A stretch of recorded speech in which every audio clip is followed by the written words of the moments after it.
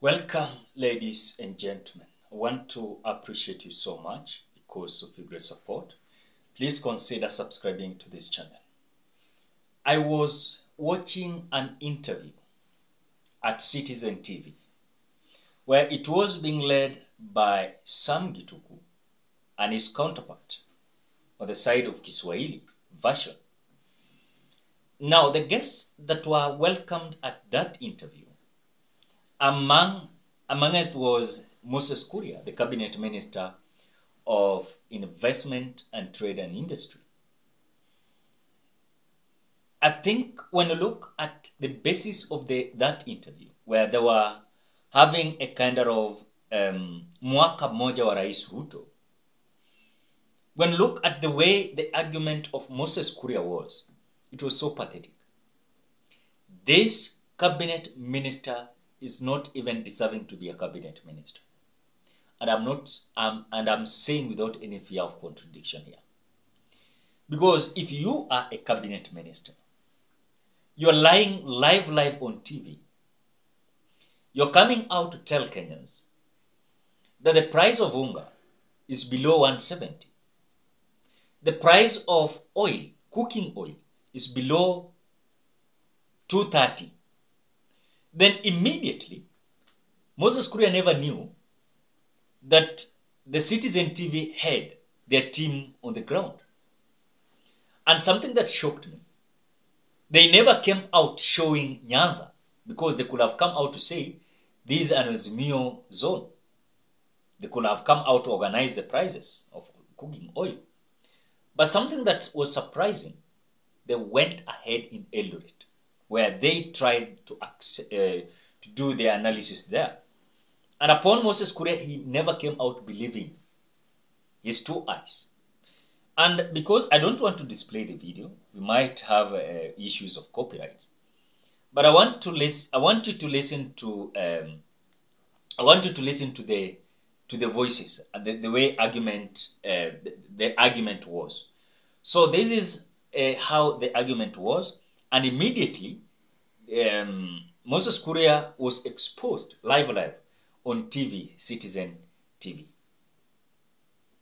Kuria, you know, as far as the cost of living is concerned, because this was one of the biggest promises that was made by the campaign of William Ruto before he became president.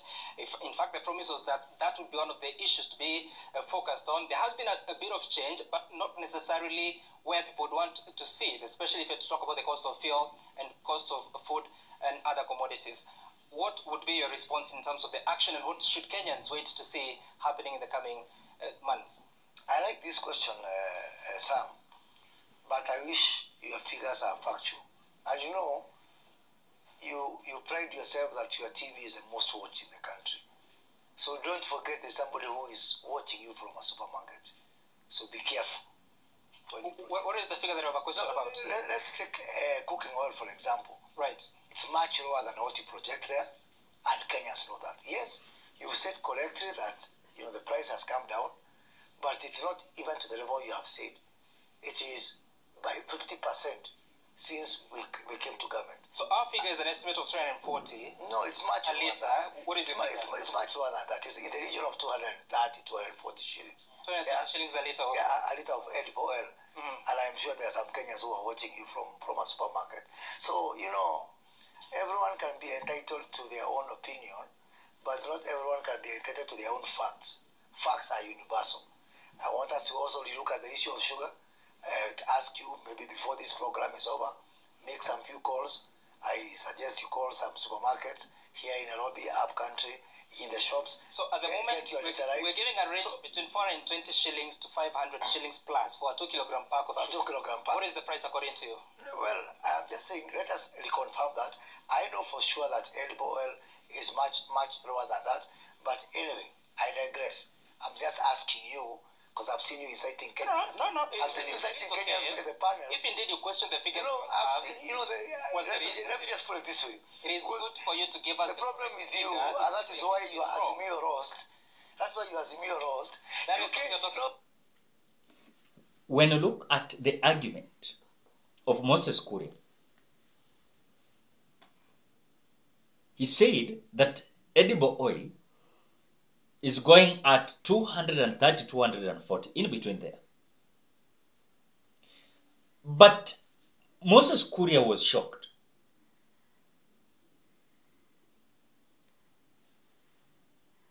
Moses kuria was shocked.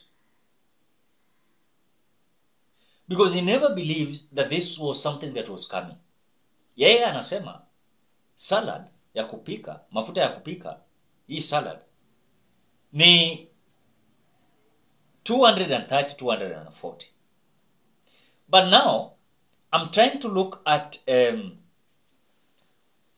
when the report came from eldoret moses kuria never believed in his eyes and even his ears. And this is uh, this was I, I think the how moses kuria was exposed alisema salad ni 230 240 but according to reports kutoka naivas saa hiyo live kutoka eldoret this is what the reporter said if you want to know moses kuria is alive. these figures from Royal, others. Let's go to Eldoret to listen to John Wanyama to give us the real figures live from Eldred in supermarket. Wanyama.